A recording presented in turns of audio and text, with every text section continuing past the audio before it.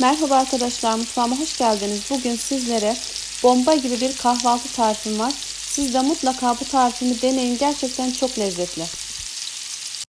İstediğiniz kadar küçük boy patatesi ilk olarak haşlayalım. Kabuklarını soyalım. Sonra büyükçe bir tavayı ocağın üzerine alıp üzerine biraz sıvı yağ ilave edelim. Eğer dilerseniz biraz tereyağı da ilave edebilirsiniz. Tamamen size kalmış. Haşlayıp kabuklarını soymuş olduğumuz patatesleri de tavanın üzerine ilave edip biraz kızartalım.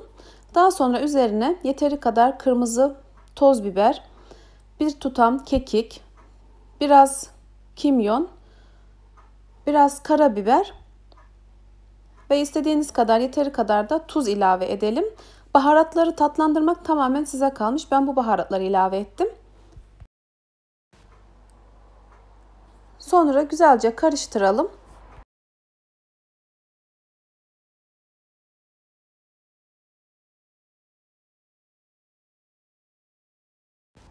Ve orta ateşte biraz bu şekilde kızartalım.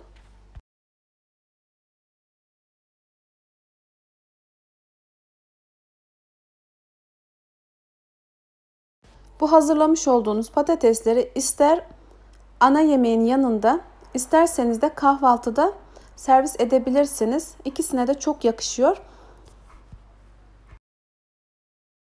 Kızaran patatesleri servis tabağına alıp sıcak servis edelim. Patatesler servise hazır. Deneyecek olan arkadaşlara şimdiden kolay gelsin. Bugünlük benden bu kadar. Videomu beğendiyseniz lütfen beğeniye basmayı ve abone olmayı unutmayın. Yeni tariflerimde görüşmek üzere. Hoşçakalın.